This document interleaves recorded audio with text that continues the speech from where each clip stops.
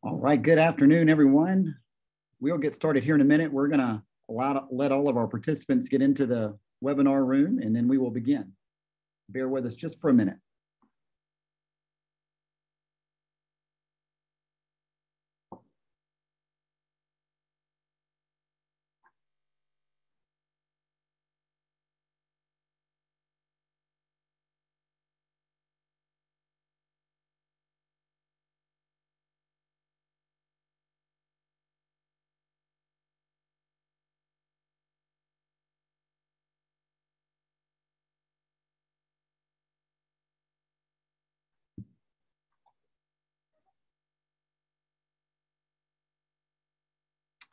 Again, if you're just joining us, we're just giving everybody a few minutes to get on to the call. We'll, we will begin here shortly.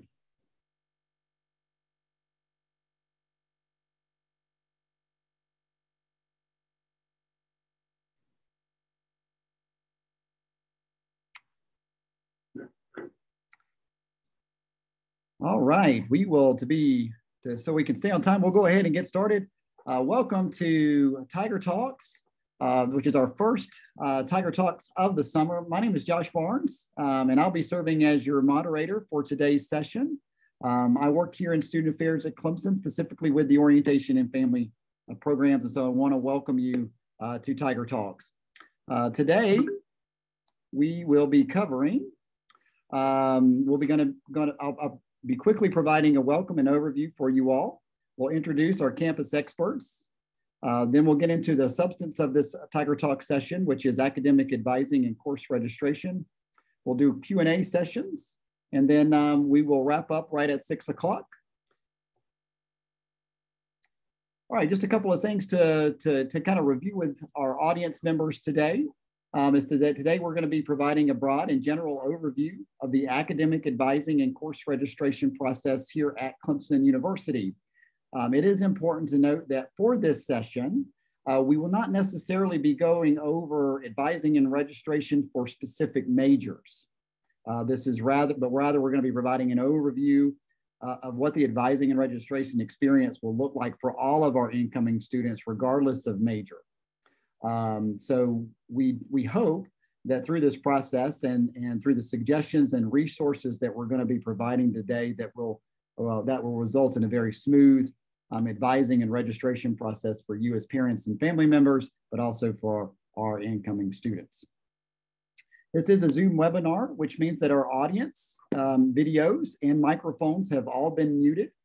Um, and that's just to ensure a high quality experience for our panelists and so that everybody can hear uh, the panelists all at, um, at the same time. Uh, we do hope to be free of technical issues today, but of course, with any technology, it could happen. Uh, so if we do experience technical issues, please be patient with us. Uh, we will work to resolve those um, issues as quickly as possible. Um, also want to note that this session is being recorded um, and it will be made available in our Clemson Family and Parent Experience portal, uh, which I believe a lot of folks uh, that are joining us today are um, already in that portal and members of that portal. It'll be posted um, in there for your future reference so that you can see it throughout the whole summer um, it'll be in there within the next uh, few uh, business days. Today we will have a question and answer feature. You can see um, on your toolbar, there should be a Q&A button uh, with two word bubbles um, that you can use to drop questions um, into, the, um, into the webinar for the panelists to answer. Uh, we do ask that the questions remain relevant to the topic. Again, uh, for the purpose of this session, it's about broad academic advising and course registration process and not necessarily um, about specific majors. Uh, questions related to specific majors should be answered through the resources that could be answered through the resources that we're going to be sharing today, but uh, they should also go, they should primarily go to the academic advisor of your student uh, once those academic uh, advising appointments have been set, which are um, scheduled to start here in the next couple of weeks. Um, we will do our best to answer all the questions about the topic today. Um, however, in the event that we cannot get to them or have to move on for time, uh, we will follow up with you afterwards. So don't feel like if we didn't get to your question, you're out in the dark. We will follow up with you offline just to give us a couple of business days to go through them all. Of course, at any time, if you have questions, whether about advising or just any um, topic uh, related to being an incoming student or, or parent of an incoming student, you can always email cufamilies at clemson.edu. Again, that's cufamilies at clemson.edu. That email address will be made available at the end um, of the presentation as well. All right, so without further ado, uh, we will get right um, into our topic at hand today. Uh, but really, I want to take some time to introduce the stars of our show today, um, our academic advisors that are going to be presenting to you. Um, and so we are very fortunate to be joined today by three of our top academic advisors on campus. Um, and so at this point, I would like for them to introduce themselves. So up first is Katie. Thanks so much, Josh. Thanks for being here today, guys. Hopefully we can answer a lot of questions that you have. My name's Katie Black, and I have been advising here at Clemson for 17 years. All right, Kristen.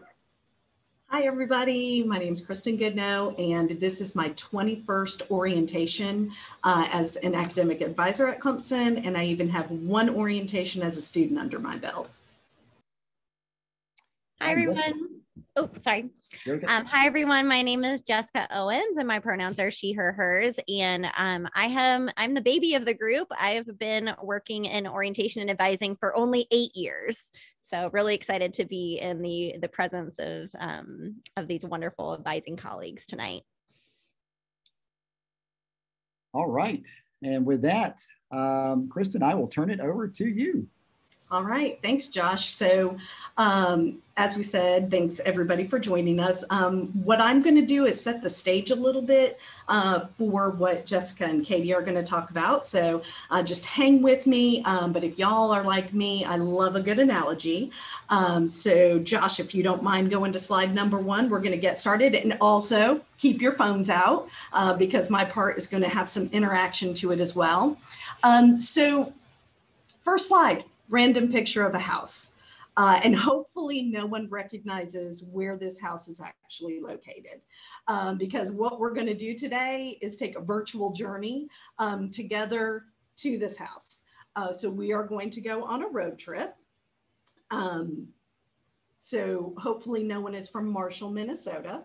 Uh, I'm from the Midwest, so there's lots of places that people have never heard of and have never used uh, a car to get there.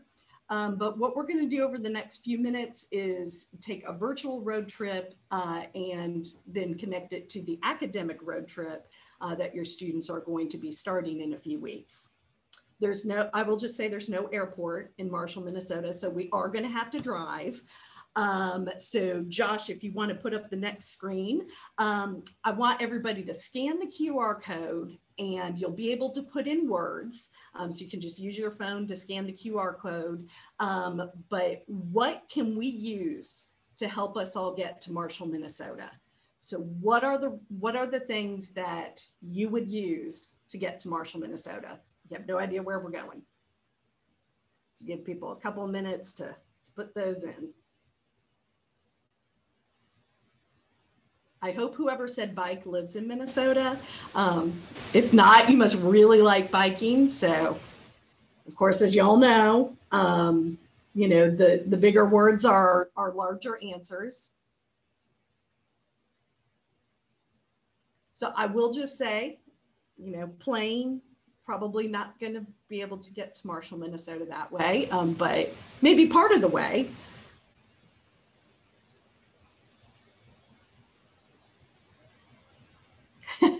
Somebody who put someone who has been I, I will be honest i have a relative who lives in this house and i honestly could not give you directions um, to get to marshall minnesota or to this house. Um, i might be able to you know to point you in the right direction but all right so lots of good answers.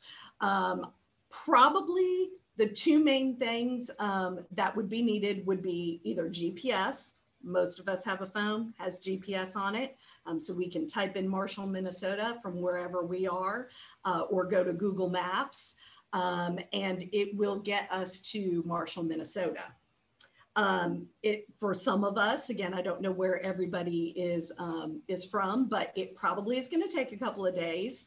Um, so I see a lot of other answers on here that are important as well. Uh, even if we go out and get in the car today, you're probably going to maybe pack a bag, um, throw a few things in, probably going to take more than one day, um, maybe some snacks, maybe, uh, you know, gas money, um, get gas along the way. So, you know, even just a simple trip for us all to imagine going to this place we have never been to uh, is going to take several steps and many, many resources for us to get there. Um, so Josh, if you'll go to the next slide, slide, sorry. So again, very much like get uh, students going off to college. Um, there's going to be a roadmap, there's going to be instructions, there's going to be rules and regulations. Um, and probably many of you parents and, and your students have been planning for this moment for a long time. Uh, and so you've, you've been gathering those resources and now it's time to, you know, no pun intended, rubber to the road um, and get out there and, and, and start on the journey. Um, advisors, um, other faculty and staff on campus, we are here to help. Um, but it also is a time where students are going to need to begin to make some decisions um, with the information available and provided to them. So that's one of the pieces uh, that we're hopefully going to answer through our presentation today. So next slide, Josh. So I know that um, you guys did not join this session to come on a fake road trip to Marshall, Minnesota with me. Um, so, you know, what is the destination uh, for your students here at Clemson? Well, that's graduation. So take a moment to scan and just put in what tools you think your student is going to need to be successful in college and really what they're going to need to get to that ultimate academic destination, which is graduation. And hopefully that's something that all of you are looking at.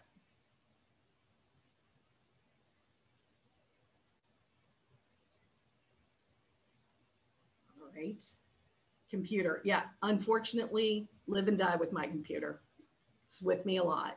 Um, so, you know, interesting mix of some of these things are actual hardware like the computer, but other things like time management and determination, um, perseverance, those those aren't hard things that you can hold on to. Those those are skills and abilities um, that they've learned up to this point. So that's, you know, part of what we're going to talk about today. The road trip to graduation is fairly complex. Um, there's not any one thing or any one advisor or person who is going to be able to kind of help your students to navigate everything that's going to need to be accomplished to get to graduation. Uh, and definitely um, a lot of the things that are uh, internal skills uh, like time management, determination, uh, are definitely not things that advisors or even faculty uh, can, can help your student uh, to have or um, we can help students to hone those skills, um, but we definitely are not going to be able to give them the determination to do, get it done. All right, so next slide, please. So just to close out the analogy, I want all of you as parents to think about the first time that your student took the keys to the car uh, and drove off by themselves somewhere. I'm sure you had many different emotions. I did not put this up as a word cloud, um, but as they are driving off, um, some of you may have been excited. Uh, they may you may have been nervous, um, but probably before your student got in at that car and drove drove away by themselves, they had had many test runs. You had gone out driving with them. They had read the rules and regulations of the road. Pretty sure most uh, folks have to take and pass an exam to get a driver's license.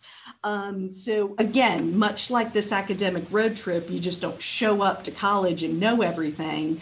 Um, there's going to be a learning curve, uh, and there's going to be some some steps to to take prior to getting behind um, the wheel of the car, so to speak, and, and going.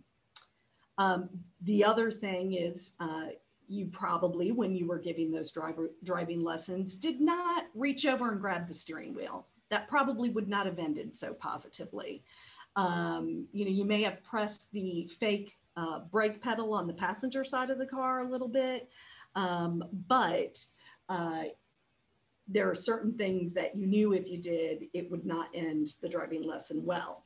Um, so again, college is your students' opportunity to start to take the wheel for themselves.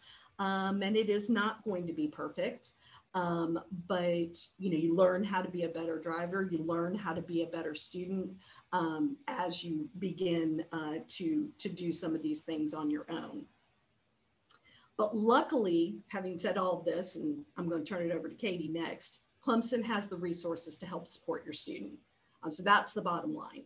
All of the resources they are going to need um, to, to help on this academic road trip. Clemson provides tutoring, we provide advising, we provide coaching, career advice.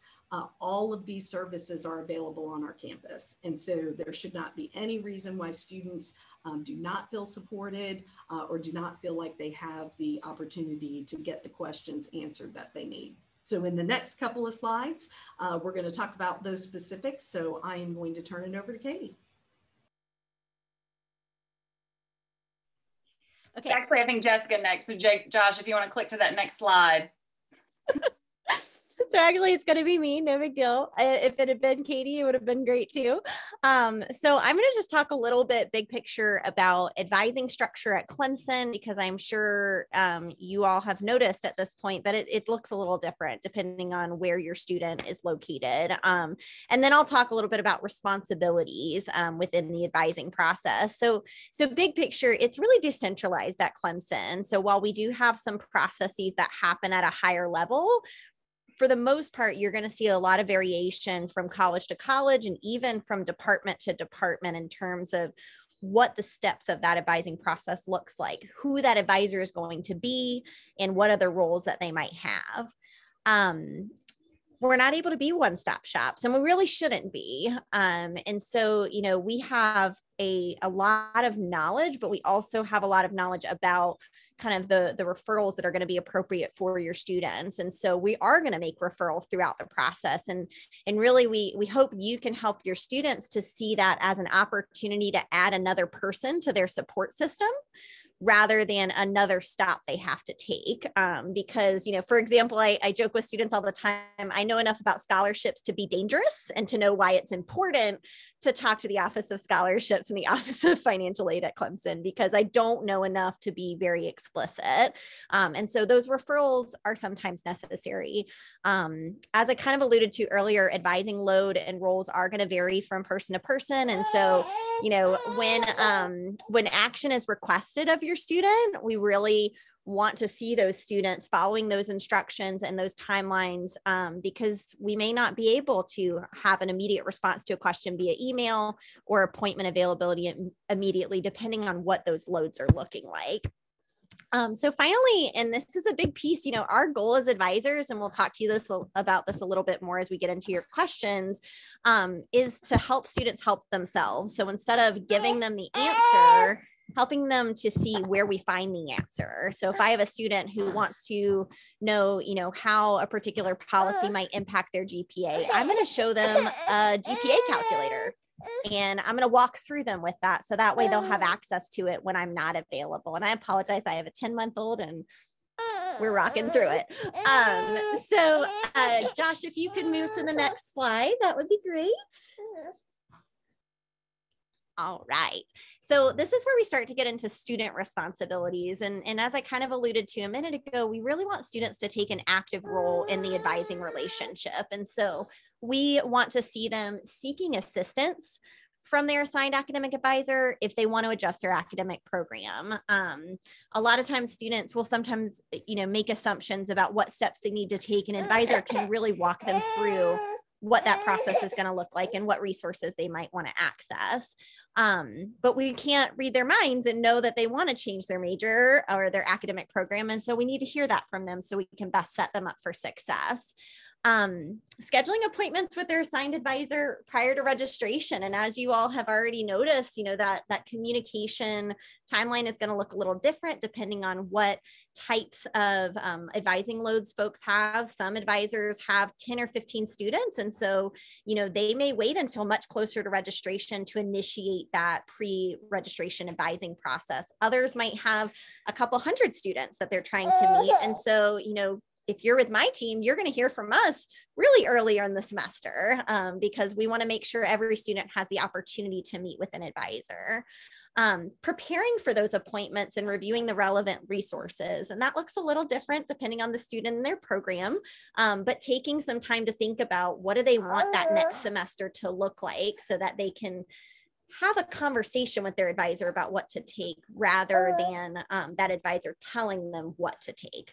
Um, and then finally on this slide, you know, just kind of engaging in that active dialogue, following through on those next steps that are identified in each advising appointment and being really open and honest. I tell my students all the time, you know, if there's something that I'm recommending to you that you just are having a gut negative or positive reaction to, let me know because I want to set you up for success. And if there's something on this list that you feel like doesn't set you up for success, I need to hear that.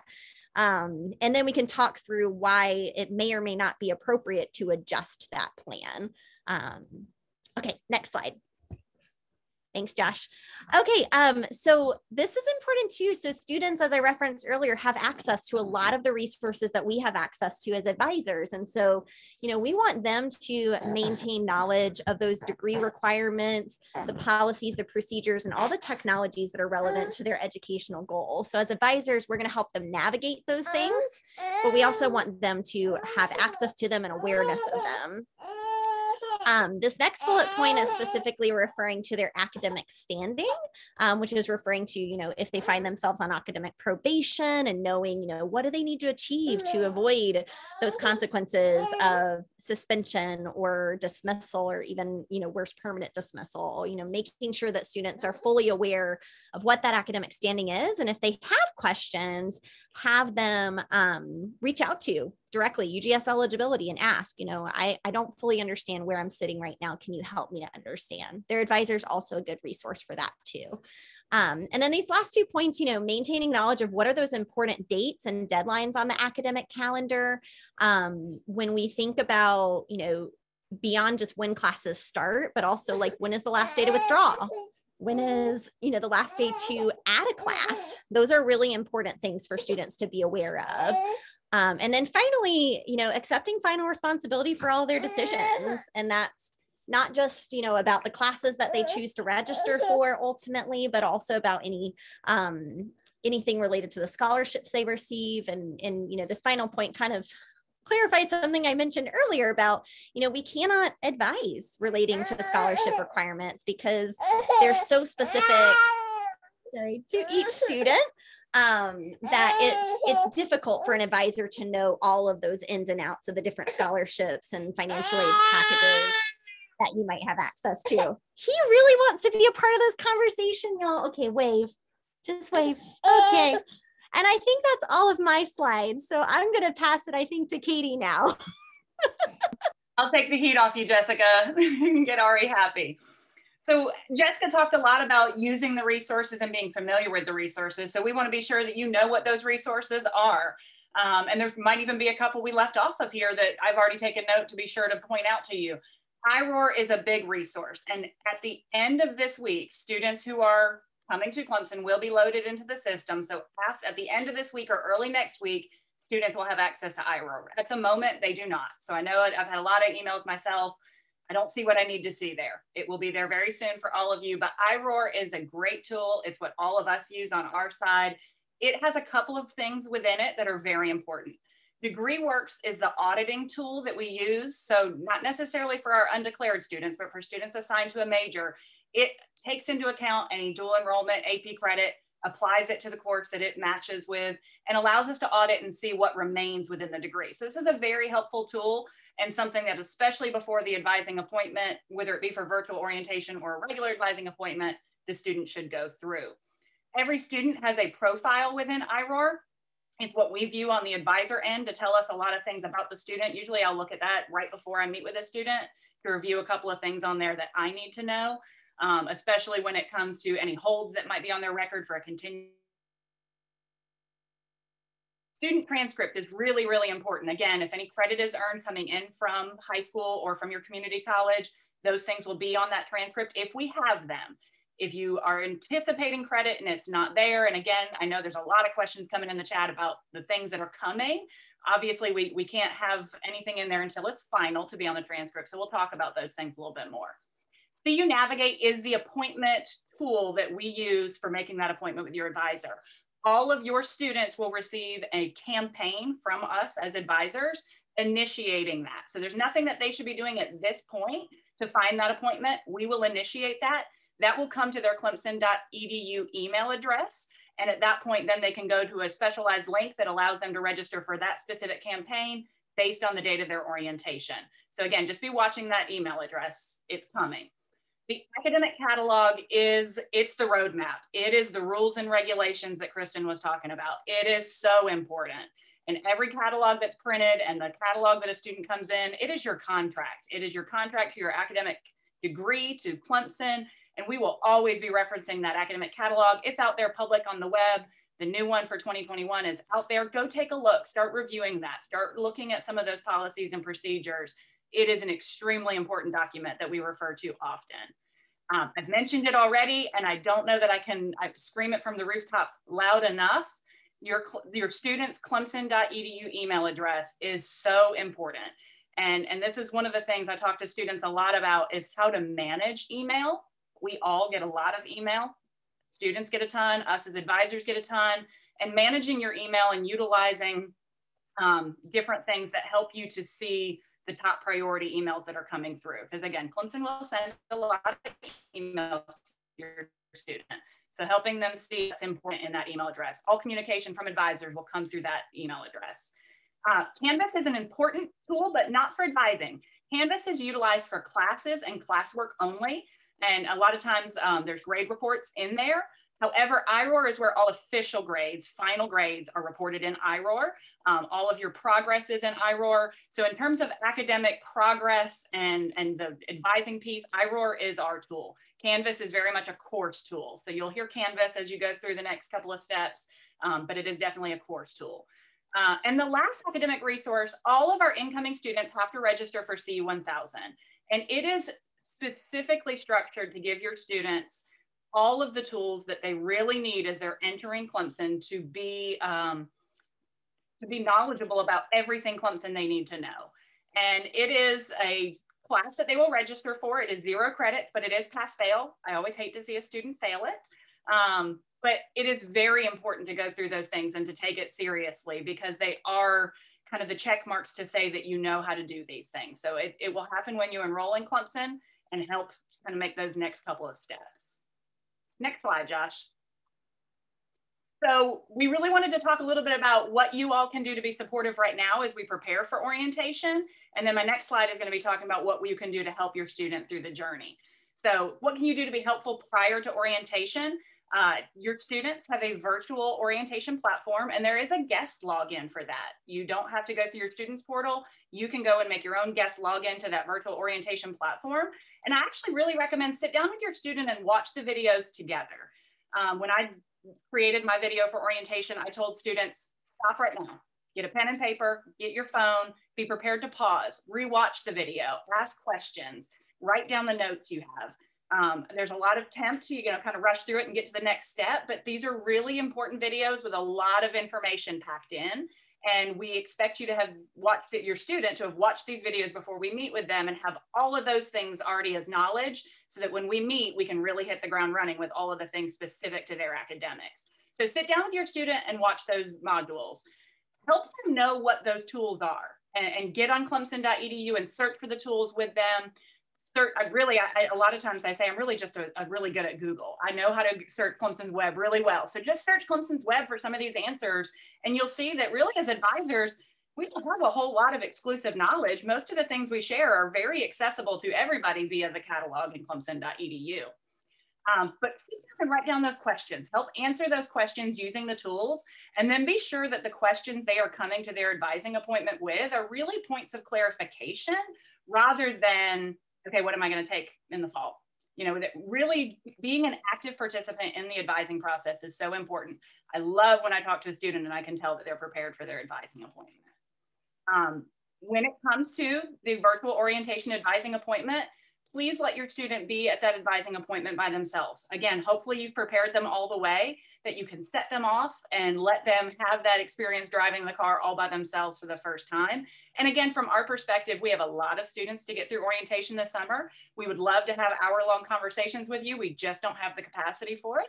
So we want to try and get that, get those questions answered, get them what they need um, within those advising appointments. And then registration as well absolutely needs to be just the student.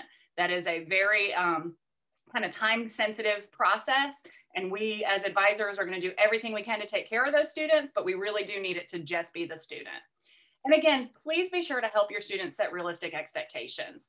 Um, they may have an eight o'clock class. They may have to take the professor they don't want to take helping them to understand that they will get what they need from Clemson, but having realistic expectations that, you know, they might not have that specific class or that specific professor freshman year at 10, 10 a.m. instead of 8 a.m. They may have to flex and work with what's available.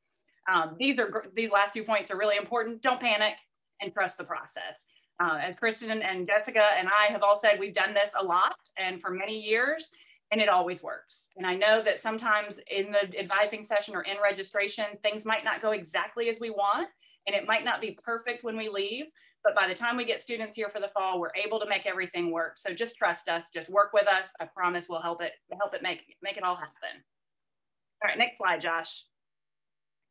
And so then after we get out of orientation and moving forward, really at that point, your student is going to meet with us. Hopefully, we all of those appointments in the future are always in our office, and we're not doing virtual appointments ever again. Um, really, it's you're not going to be able to be there with your student to ask those questions. So again, preparing them for virtual orientation is just preparing them for down the road. But ask your student questions. Ask them a lot of questions. Make sure that you are helping them feel like they are doing the right thing when they're in the meetings with us so that they're ready um, for those next steps. Be a backseat driver, right? I, I'm the, the guilty wife who screams at my husband sometimes, and that's not always best when I see something happening.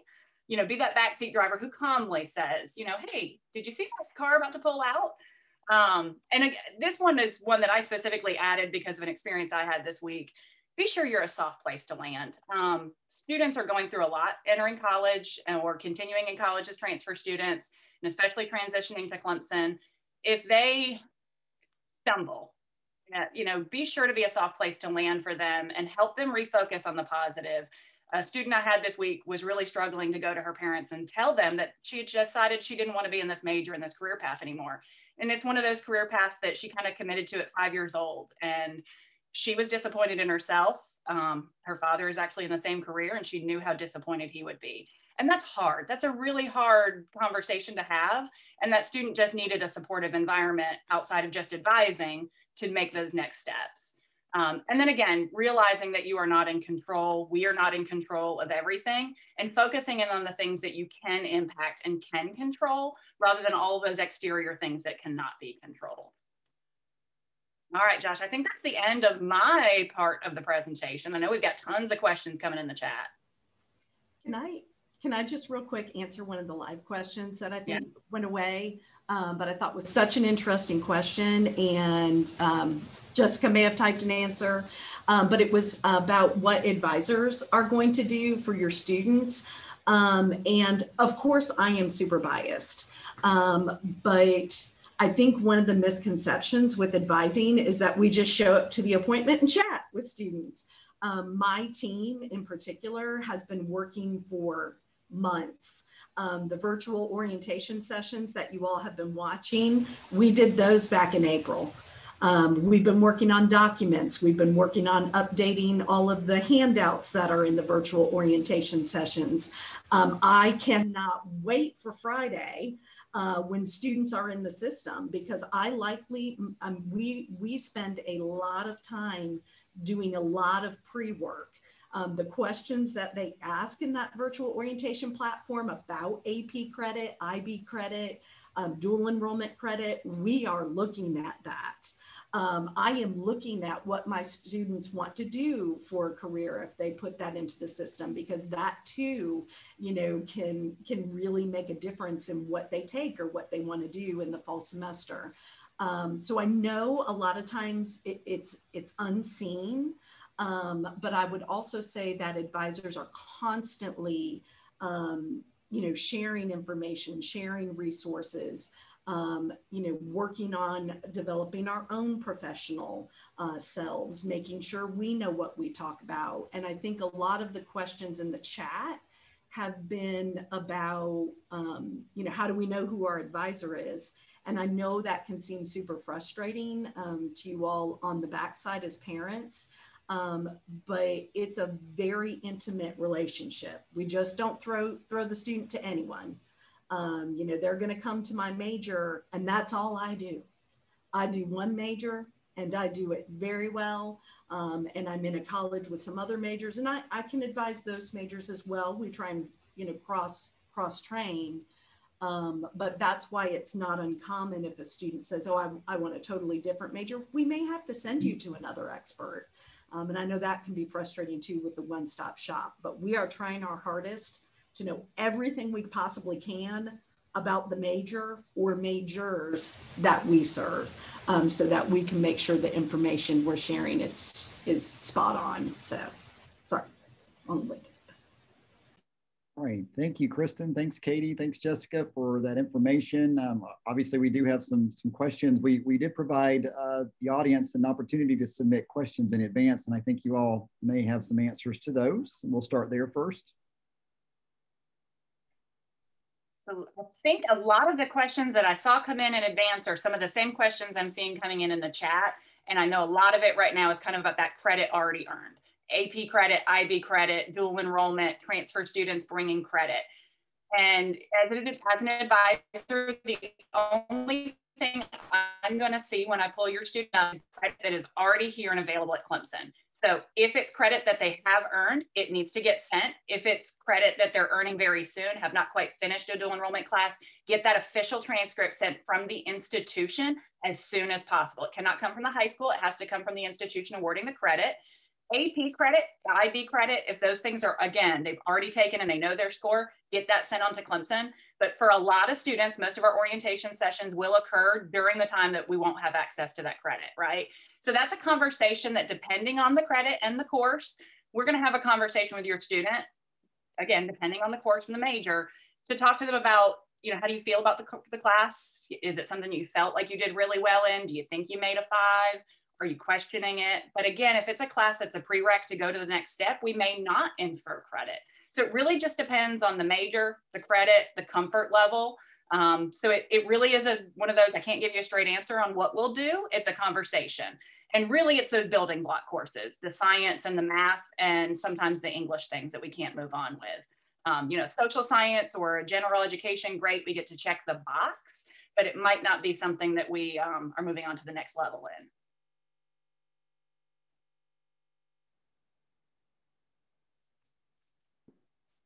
And I was just uh, going to add, and I think Josh said it, but just to underscore, there were a few questions in the Q&A um, that we're not going to be able to answer. Uh, so we're going to get those to Josh, uh, and he definitely uh, will follow up. That will be one of the next couple of days follow up. Yes, just as a reminder, we will um, follow up with questions and may not be necessarily related to the topic on hand here. We'll follow up with you all um, I'll turn it over to our panelists for the Q and A's that are coming into the box here. Maybe we can go through some of those um, and answer those out loud. Mm -hmm. um, and Josh, I was going to maybe say this might be a good time to go to the website and do sure. some searching um, because I know there were some questions about how do I get to the placement test. Uh, and I think Katie said it, Jessica probably said it. Um, we're just fancy Googlers.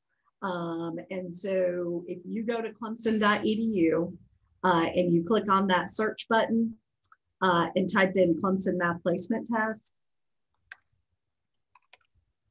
I guess you don't need to do the Clemson since we're on clemson.edu. Thanks, Josh.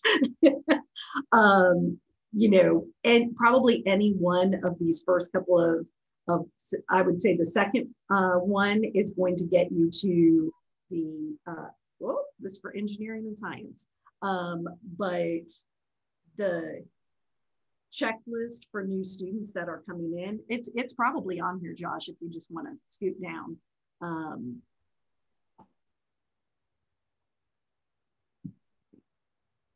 yeah, So if we just click on that test information. You don't even need to be in the College of Engineering and Science, um, but that takes you right to the info about um, the test, transfer credit, uh, the go to ALEKS is another name for it. That's where you go to actually take the test. Um, you know, and again, so any of these uh, these uh, clicks at the top will probably answer the majority of your questions. Um, yeah, Josh, if you don't mind going back to the search engine and we will, um, I think the catalog is another main resource. Um, and, and, and I recommend anytime I Google something like this and I know I'm going to need it, bookmarked. Um, you know, so I think that's a piece as well. Um, so all of our catalogs are housed online. Um, yeah, I think you have to, yeah, you have to click on the academic catalog system there. Yep. Uh, and in the upper right hand corner where it says Clemson University Catalog System, uh, that is a pull down menu.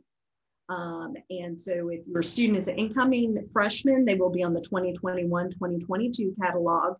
Um, transfer students may be on a, an earlier catalog year, um, but for most majors, um, your advisor can tell you if there is a need to be on an early catalog year. For my majors, I don't think anything's changed in the last five years. Um, but from this main screen, you can go into specific uh, colleges. Um, if you don't mind, Josh, clicking on admission. Say that again. I'm sorry. Left hand side, sorry. It's hard to tell someone else to drive. I'm like pointing like you can see that. Yes. Um, so if you scroll through this, uh, this should be the section where um, AP and IB uh, credits are going to be listed. Um, so, you know, academic policies are here, uh, questions about what's in my student's curriculum, and you navigate to the major. Um, so the catalog probably contains a lot of what it is you're looking for. Here's some information about transfer credits. I know we've had a lot of information or questions about that. So if you were to click on the visit the transfer course equivalency list at in the end of that last paragraph, that would take you to the um, equivalency list. Yep. Oh, typo. Well, this isn't good. Um, oh, it's, I think it's putting the period on the end of that. Sorry. Um, but someone had asked if the credits are not in the TCEL, uh, if those need to be evaluated, that is completed by admissions once the transcripts are, are received. Um, so academic advisors are not folks that are evaluating those credits, but um, it is very important for your student to tell their advisor what they may be anticipating credit for. Um, again, we worked in the biz for a while. So if a student's like, well, it's not evaluated, but I took this public speaking class, probably going to guess, you know, we're going to stay away from taking the public speaking class at Clemson uh, because many things can be interchanged. Uh, when you're looking at the catalog and looking at the curriculum, it is in no way going to need to be taken exactly as it's laid out. Um, there are very few majors uh, or students that finish and take it exactly like that. So yeah, so if you keep scrolling, that's where AP and IB uh, is in there. I think we had some questions about that. So again, it's the test, the score, and then what you would receive credit for. And again, that will help you get a good start on that. Um, and I heard Katie saying, you know, for some majors, for some situations, um, you know, there may be some advising to retake the course um, for certain situations. So again, your advisor would would raise that uh, with you, or if you wanted to retake it, if the student wanted to retake it. So I made a mistake in the chat. I was trying to answer one of the questions and I said I'd answer it live and then it went away and I didn't answer it live. So let me answer it live real quick. One of the questions was about um, that your student applied this year as test optional. Do they need to take the placement test? Sorry, I, I dismissed it. That was not my intent. Yes. So if your student applied as test optional, um, we do need some of the scores from that SAT or ACT to place them specifically into math. So with that, you have two options. You can send the SAT or ACT score that does exist for your student if you feel like it is going to be strong enough. And again, on that math, you can find what the score needs to be to satisfy the math. Um, so you can send that SAT or ACT score now and we can get it in the system and be official and that will work as placement. If not, they need to take the math placement test. Or if the score is not strong enough to place them into the math that they would need or assess them for the math they need, that math placement test is necessary. We must have math placement to place them into a math course. Otherwise, they go into the very lowest bottom remedial math course that Clemson has. So I'm sorry that I did that in the, I was trying to go through all these questions over here and make sure I'm answering.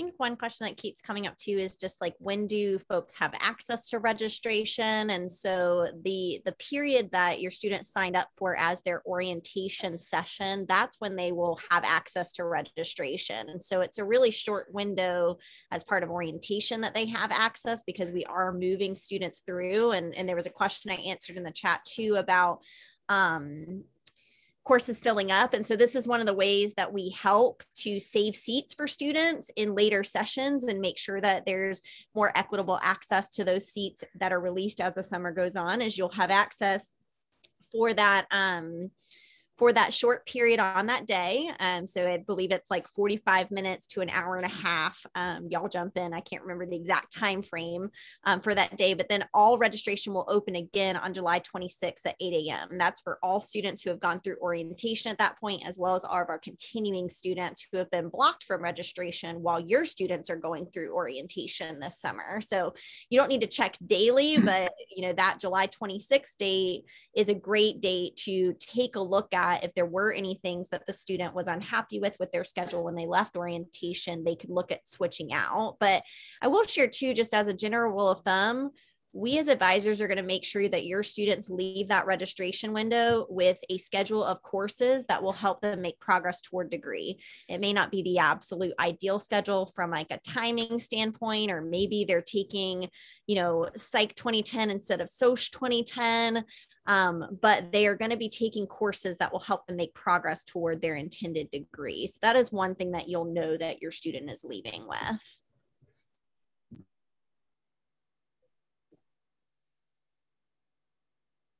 And I'll just answer live a question about the different parts, and it is very confusing. Um, so, what your student signed up for, um, or hopefully has signed up for so far, is the orientation registration date. That is where students will sit down at a computer with, with their advisor and they will actually register for classes. So much like the advising process, you don't just walk into that, that meeting and be like, I know what I'm doing. Um, so that's where the online uh, virtual models is has been put out there by each department to help share what your student needs to know. Um, so this is general information that applies to everyone in that major, important information. Um, again, and Josh may be able to speak more to this, but there, there are other pieces of information like how to use CU Navigate, how to use iRoar. Um, so again, we are anticipating that students um, review all of the modules out there you mentioned it's due by 8:15, but if your student's registration date, they are they are all before 8:15. Um, so they will need to be through the academic piece prior, I would say, at least two weeks before their registration date. Um, because what then happens is once advisors uh, know a student has viewed these online modules, that's when we're going to set up the one-on-one Zoom advising sessions to talk to your student specifically about their situation prior to the registration date that you signed up for in May. And so again, this is why I can't say you definitely will have instructions out there because every advisor gets to do that part differently.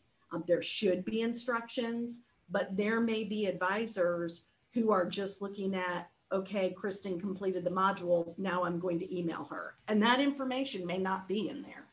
Um, but I would say the key thing is that your students need to watch the virtual academic modules online as soon as possible, especially if they are in these early orientation sessions, um, because we have to then reach out to them to make an appointment and get them advised really, you know, in the next two weeks.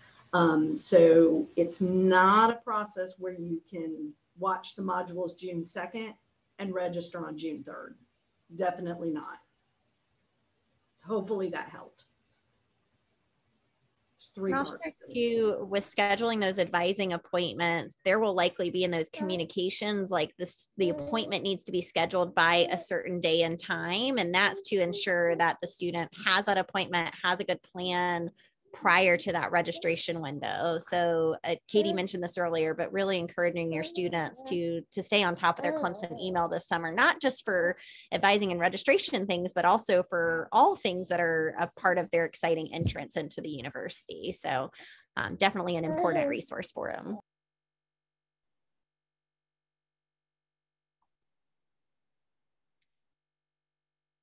All right are there any other, uh, and, and, I'm on my end, I, am in present mode, of course, uh, for this webinar, and I, I can't see the Q&A, so I rely on our panelists here. Are there any other ones that um, we need to, to review? I would just say, you know, there's been a lot of, of questions about the placement exams. Um, and just, I would definitely for the math, go back to that view AP uh, and transfer and IB work to help. There's a decision tree on there that can help you to decide.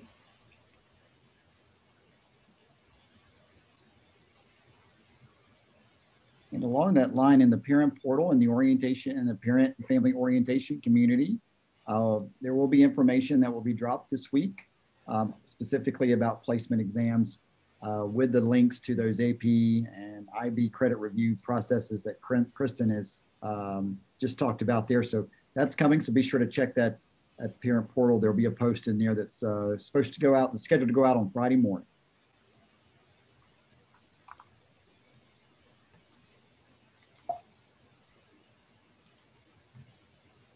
All right, any, are there any other questions for our panelists?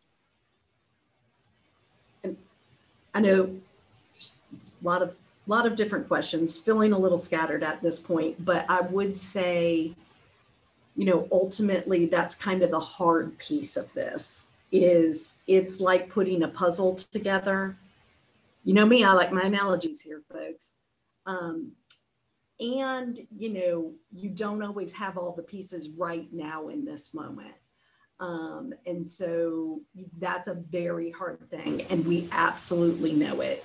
Um, but I think the big things, and I know Katie mentioned these almost all on her slides, you know, don't panic. Someone is going to reach out to you. Um, and, you know, trust the process. We have done this before. Again, most all advisors have dealt with the AP scores come in after orientation. This is not a new thing. Um, and so we're used to answering these questions. Um, we have answers to these questions. Um, and so, you know, just know that it's not a new process. Um, and it may be new, you know, for you and your student. And, and we definitely hear that and understand that. Um, but yeah, it, it is kind of a patience testing process um, because it, it will be more of a marathon to, to get to the final fall schedule for some students.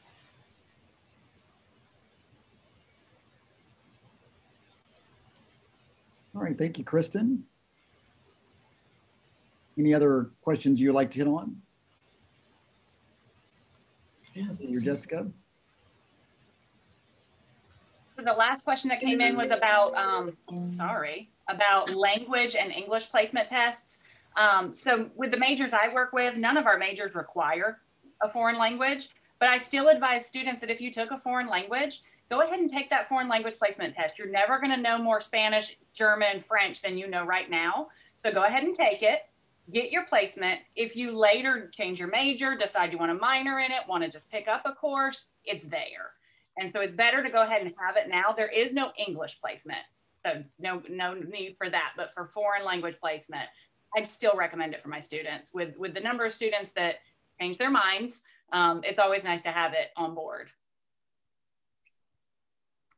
Yeah, and I just want to share um, from the perspective of some of the questions not getting answered. Um, it is on this side, they're just like a little bit overwhelming. So I apologize if any of your questions have not been answered. Um, it looks like Katie, you're typing an answer to the question that just got reposed. Um, I think Josh mentioned earlier, but we'll definitely take a look at all the cues um, and make sure that they were answered. And if not, Josh is going to work with us to get those answers out to all of the attendees and follow up to this session. So, um, you know, at the end of the day, I would just share with you all from an advising perspective, you know, this summer in virtual orientation, um, it's not like it would have normally been had we all been able to be in person. And, and I think Kristen and Katie have both alluded to it. Like we miss working with our students in our offices and the, the technical difficulties and things like that are also things that um, we are challenged by. Um, but I, I, as an advisor, am really proud of how the advising community has kind of like come together and created these virtual modules and, you know, figured out how to use Zoom to manage appointments and all of that. And so, you know, we just, we appreciate your patience and understanding as we also navigate something that we've never navigated before um, and trying to ensure a quality experience for for your students um, because that's what we care about. We want to make sure you know that they feel set up for success entering clemson this upcoming year um, but also be managing our own capacity to make sure we can provide that experience for all the students assigned to us. And so sometimes we might say that's a great question but it's a great question for whenever we meet in the fall semester let's talk about it more then. And so if if you hear your students sharing maybe some frustration in response to some of that please know that it's coming from a place of ensuring that all students have equitable access to their advisors for the questions they need answered this summer to have what they need set up for success this upcoming year. And that we will absolutely be connected to them um, following orientation too and a resource for them at that point for those bigger picture plans you know multiple semesters out double majors minors all the things that your student might want to add as part of their experience. There will be time for that. Um, so thank you in advance for being our partners this summer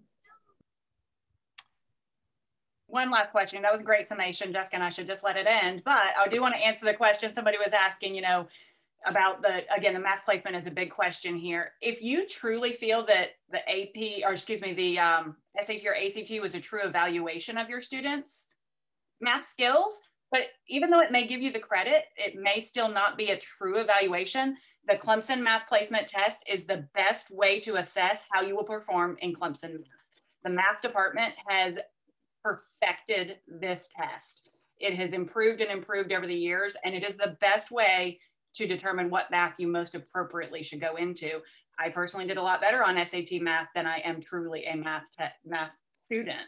So I probably should not have used my math SAT. So again, I think it's the best assessment um, of how that student will do in Clemson math.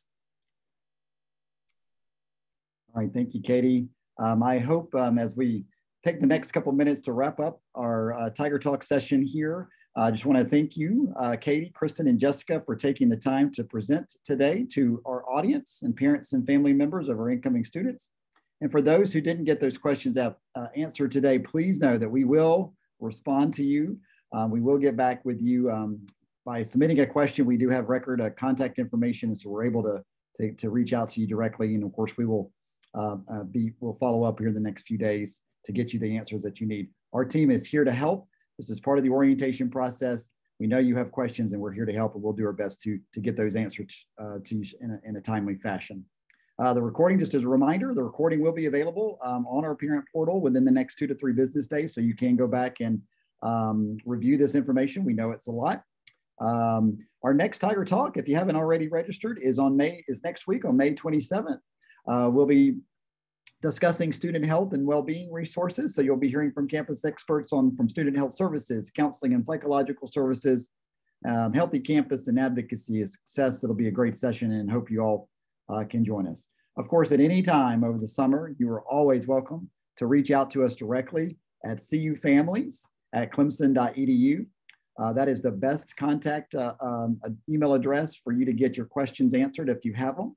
Um, and again, I want to thank you all for attending. And um, we hope to see you next week. Um, and until next time, go Tigers. Thanks for coming.